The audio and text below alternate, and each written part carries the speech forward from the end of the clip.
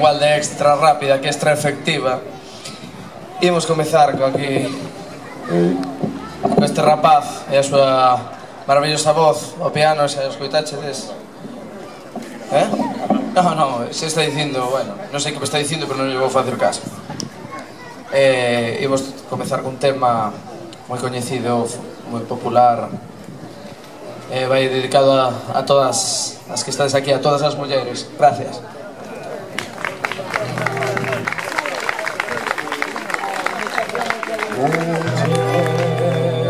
fartura veloità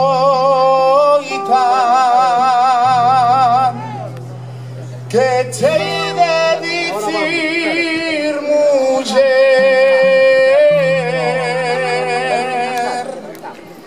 se te matera nosa e a terra comatie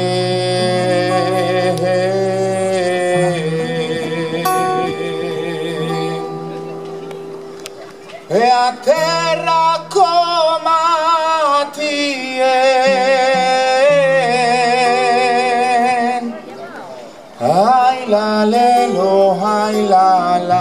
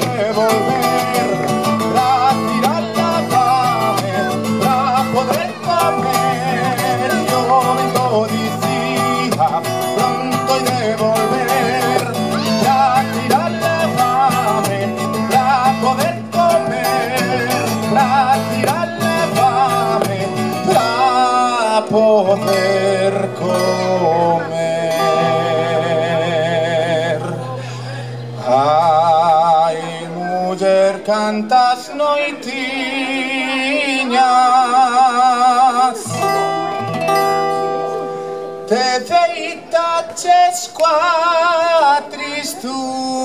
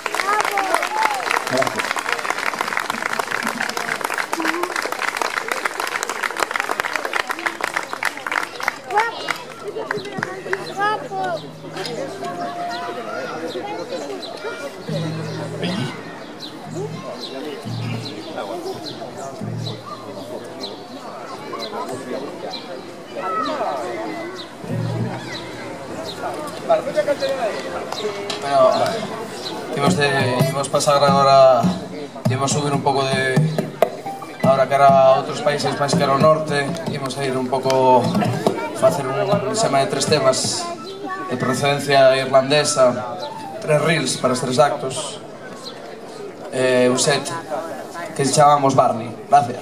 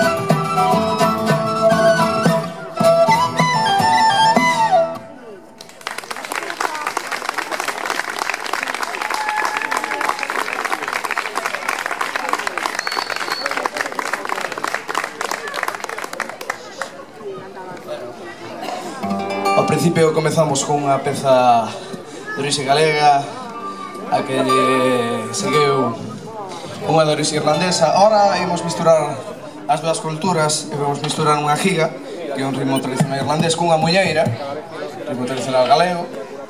E somos tan simples de mente que chamámosles gigañeira.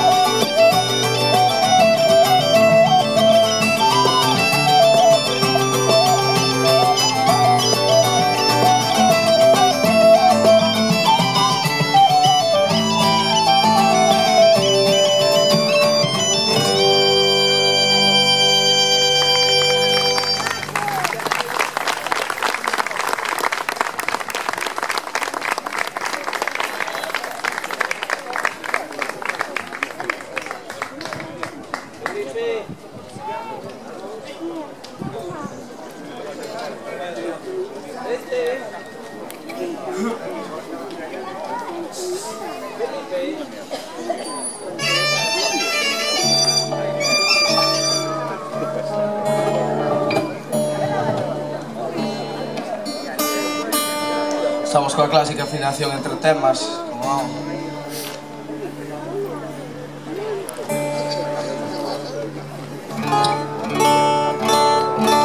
Imos a un tema agora de autoría propia do grupo Chamase Redemption Porque, bueno, moi longo de explicar Pero, eh, case porque sí Vai un pouco lentiña ao principio, máis rápida, estas cousas. verdade que veño de, de un viaxe de moitas horas, non que teña moita facilidade de palabra hoxe. Que che pasa, Fausto? Pois nada, que, eh, que fai calor. Bueno, agora non, pero fixo moito calor durante o día, estou medio calorado. Eh, afecta ah, a cabeza, non? Si, sí, as cedronas, eh, a todo, incluso o, o, bandullo, levaba, o bandullo tamén afectou. Levabas, bastante. levabas boina. Si, sí, pero xa tuve que, tuve na que botar a lavar. Vamos a ver, ¿no? Sí, casi me otro.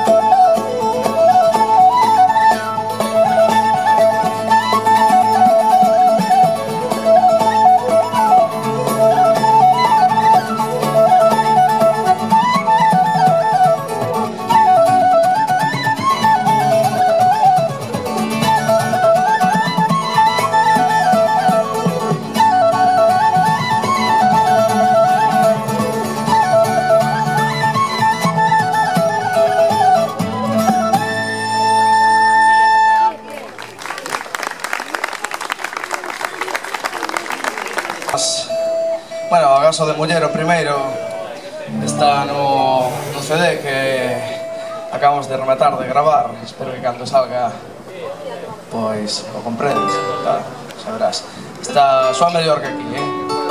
pero Pero, pero eso porque, porque o, o Nacho que nos fixo aí con mesa, con todos os... Fixo trucos cos botóns e con todas esas cousas. Non, non é que porque achamos tocar mellor, eh? Que máis da, do que non se pode sacar imos tocar con outro tema deste disco chamado Trinos tamén da autoría do, do grupo que se chama Viaxe por Melgar.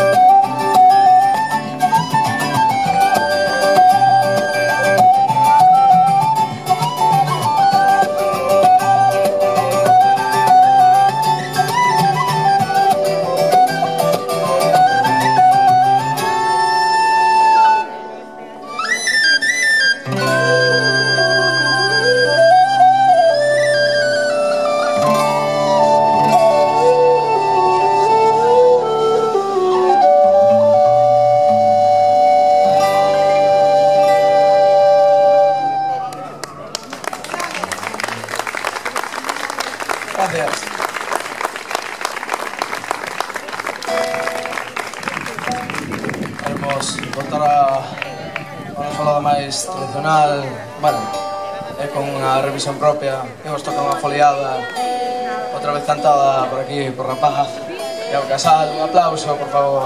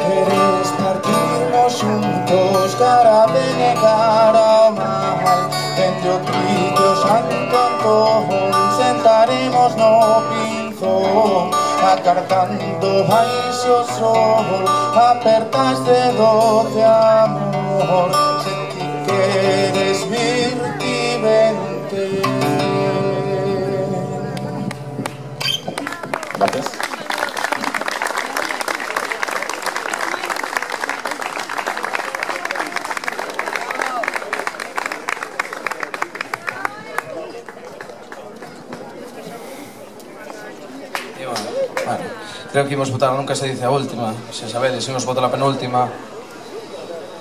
Eh, é un tema un pouco difícil de explicar, sobre todo para hoxe que estou bastante espeso. Pero bueno, eh, comeza cunha pequena referencia va desde varios puntos. Unha pequena referencia ao principio dunha peli de acción dos 90, moi propio. Para... A que lle sigue unha muller asturiana, moi propio tamén, dou, eh, dous riles escoceses e un irlandés. Vamos, un remesido de... Eh, eh, todo isto chamase Volveremos. Eh, esperamos, volveremos.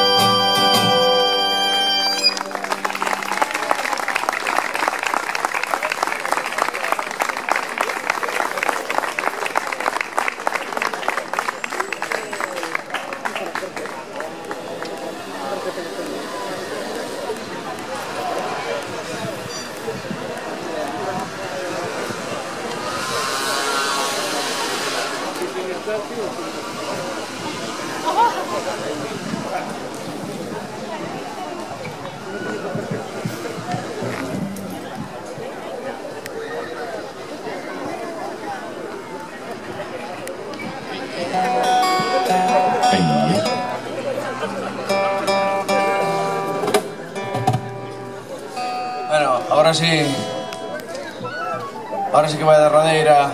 Muchas gracias a esta organización de Festival Inferniño Folk por esta oportunidade. Eh, gracias a todos por estar aí a aguantar estas pruebas de sonido, estas cousas que temos a veces os músicos e tal. Imos rematar con unha canción que din moito o non me din moito acerca do grupo. Chámase Juanca. Saios. Emily. Ah.